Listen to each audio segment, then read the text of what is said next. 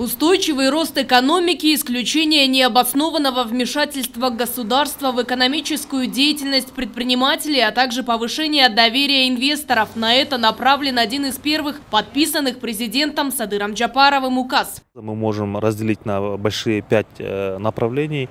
А, это в первую очередь э, обеспечение верховенства закона, второй э, блок – это э, вопросы касательно э, защиты собственности инвесторов и бизнеса. А, это вопросы снятия излишних барьеров. Это вопросы автоматизации государственных услуг и предоставления сервисных моделей взаимодействия и сервисных услуг для бизнеса. В указе даны конкретные рекомендации правительству и Генеральной прокуратуре, в их числе. Прекратить необоснованное вмешательство правоохранительных, фискальных и контролирующих органов в деятельность субъектов предпринимательства, обеспечить безопасность не только деятельности инвестиционных объектов, но и имущества инвесторов, а за нарушение прав интересов предпринимателей привлекать должностных лиц к ответственности, в том числе уголовной на этот указ своевременный и очень актуальный.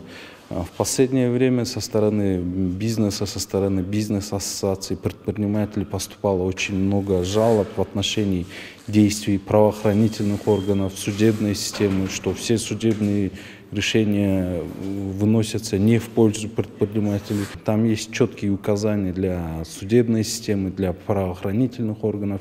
Я думаю, если все эти пункты указов будут э, реализованы своевременно и быстро, я думаю, создадутся очень благоприятные условия для наших предпринимателей. Еще одним важным моментом указа стало то, что правительству необходимо в течение трех месяцев разработать пакет законопроектов по декриминализации экономических преступлений и проступков, а также проект закона, который запретит применение меры пресечения по экономическим преступлениям в виде заключения под стражу в момент досудебного производства потому что есть действительно такие фаты, когда закрывают руководителей, как говорится, предприятий. И вот здесь как раз говорится о декриминализации экономических преступлений, о том, чтобы инвесторы, не только иностранные инвесторы, но наши отечественные инвесторы чувствовали себя спокойно, что да, можно инвестировать в Кыргызскую республику, ты не потеряешь эти деньги. Подписанный президентом указ демонстрирует приверженность государства развитию экономики, защите и поддержке бизнеса, говорит бизнес-омбудсмен.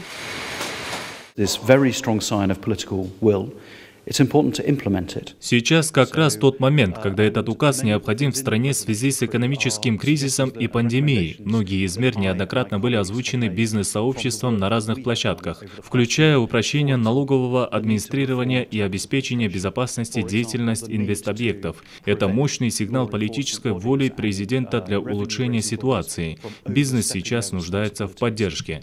Указ о защите собственности, поддержке предпринимателей и инвесторов нацелен на достижение стабильности в экономике. Сейчас важно достичь устойчивости, чтобы отечественная экономика стала не только динамично развивающейся, но и полностью защищенной. Аяна Дюшикеева и Сентурабыкеев, Алато, 24.